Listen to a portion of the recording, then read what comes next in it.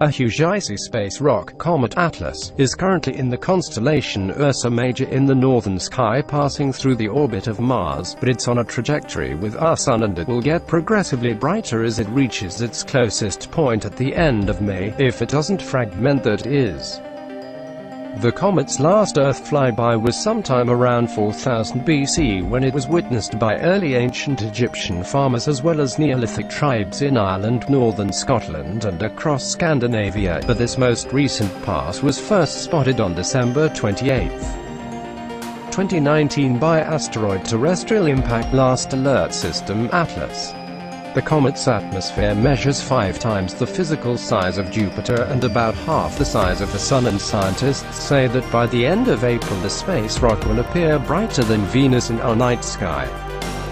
As it approaches our inner solar system, the comet will become one of the brightest objects in the night sky and according to a report in the Daily Mail, potentially the comet of a generation.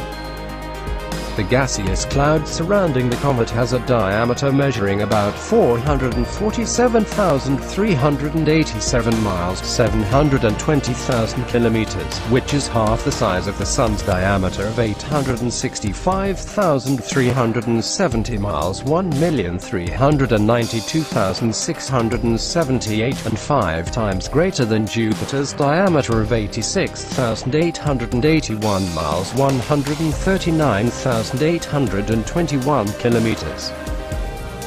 The Earth lags some way behind with a 7,917-mile (12,741 kilometers) diameter, but we need fear not as the comet poses no danger to us as it will pass more than 72 million miles 116 million kilometers away from our planet.